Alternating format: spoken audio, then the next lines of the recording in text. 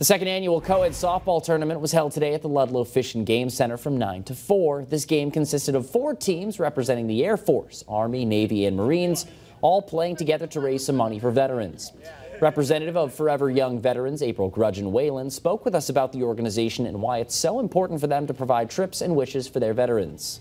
We're so passionate about getting our veterans, you know, back overseas or back to places where they you know, formerly served. Just the mission of, you know, the healing, the hope, the camaraderie for these men and women to be together is so important for us.